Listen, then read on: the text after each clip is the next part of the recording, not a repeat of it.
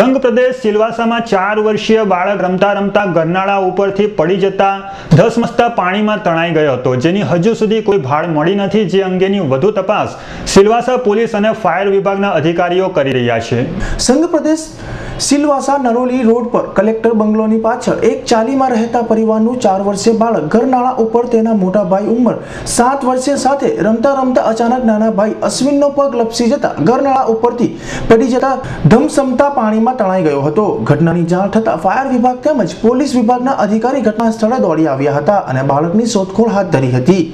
પ્રાપ્ત વિગતના આધારે બપોરે ત્રણ વાગ્યાના સુમારે કલેક્ટર બંગલોની પાછળ રહેતા શૈલેન્દ્ર શર્માના બે વર્ષ પુત્ર ઘરની બહાર ઘરનાળા ઉપર રમી રહ્યા હતા. તેવા સમયે નાનો પુત્ર અશ્વિન જે ઘરની નજીકથી પસાર થતી ખાડીમાં પડી જવાથી ધમધસતા પાણીમાં તણાઈ ગયો હતો. ત્યારે મોટો પુત્ર તાત્કાલિક ઘરે જઈને બનાવની હકીકત તેમના માતા પિતાને જણાવી હતી. ત્યારબાદ તેમની માતા પિતાએ પુત્રના પિતાને બોલાવી તાત્કાલિક શોધ કરવા રાત સુધી તેનો કોઈ પણ પત્તો લાગ્યો ન હતો.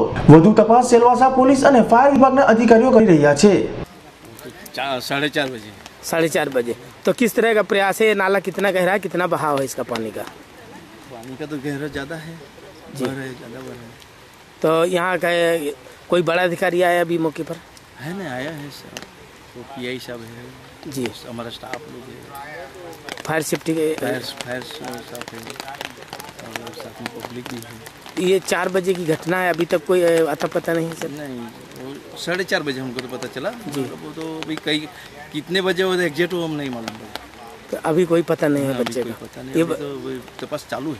ये कितने वर्ष का बच्चा है कुछ आइडिया? ये करीबन साढ़े तीन साल का। साढ़े तीन साल का। तो ये यहाँ क्या करने के लिए आया था?